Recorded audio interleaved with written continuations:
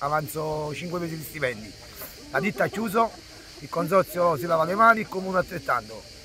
Cioè noi abbiamo famiglie a casa, avanziamo 5 mesi di stipendi e non possono tralasciare questa situazione perché noi non ce la facciamo più qualcuno prenda provvedimenti. Stiamo aspettando 5 mesi che non abbiamo avanzato i soldi nostri, abbiamo lavorato qua alla piscina in spalle.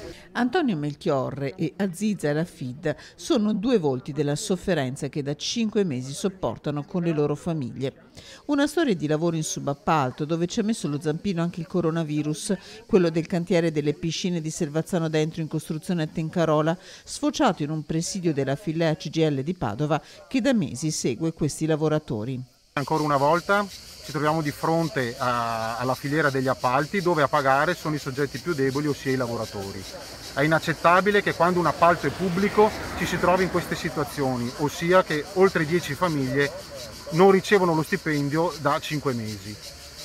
Eh, noi chiediamo ai soggetti coinvolti, ditta, consorzio e comune, che si facciano carico sia delle responsabilità giuridiche, ma soprattutto sociali e morali. L'appello va agli interlocutori istituzionali, in particolare al comune di Selvazzano Dentro, perché questa vicenda si sblocchi al più presto e perché l'impianto natatorio intitolato a Carlo Pedersoli, il compianto Bud Spencer, possa vedere al più presto la luce.